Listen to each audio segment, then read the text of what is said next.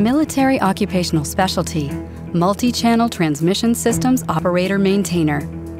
High-tempo combined arms actions require precisely coordinated movements and time-sensitive decision-making.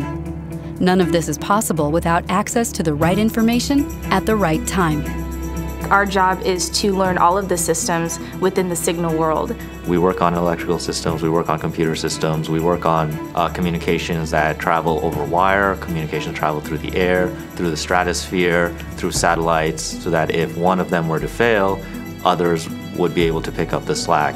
Due to the sensitive nature of communications, secret clearance is required for this MOS.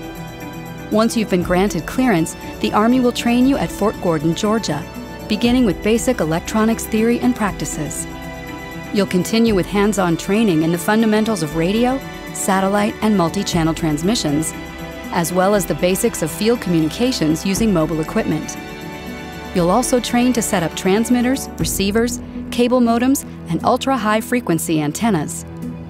Additional training will cover high-capacity line of sight, or HCLOS systems, satellite, and non-secure and secure internet protocol anyone that comes out as MOS can, can be considered a jack of all trades.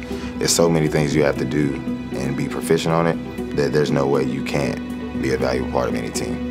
You learn something different every single day compared to just focusing just on one thing. It's, it's an amazing experience to go out and work with teams and units and different nations. In this MOS, you will be taught specific procedures for the use of satellite and radio communication assemblages, as well as the operation of primary and backup radio systems to provide redundancy across areas of coverage. Beyond this, you'll train in the security needed for transmitting sensitive communications.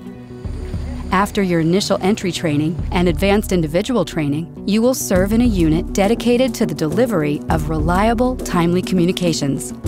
These taskings may be undertaken from a strategic location or a tactical position, as you oversee the infrastructure that allows assets in the field to update and inform commanders around the globe.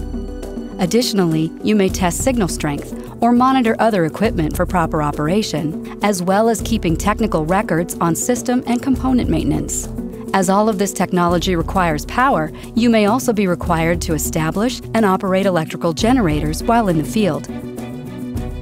To further strengthen the Army's communication dominance, you may also emplace SATCOM transportable terminals, secure mobile anti-jam reliable tactical terminals, or tactical relay towers, all vital elements within the Army Communication Network.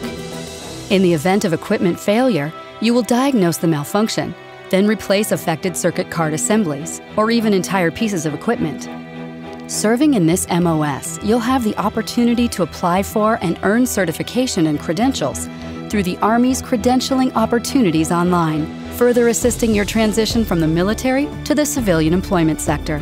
If you want to go in the field of computer science, the field of communication, this is a great MOS. It can be a stepping stone depending on how you look at it. Anything dealing with a wire or a signal or communication, you can pretty much work there. So the opportunities are widely available. You just have to go out there and make an effort. For individuals interested in electronics, this MOS is a unique opportunity to learn the principles and concepts of satellite and ground-based communications and apply them to enable and defend critical military communications. Military Occupational Specialty, Multi-Channel Transmission Systems Operator Maintainer.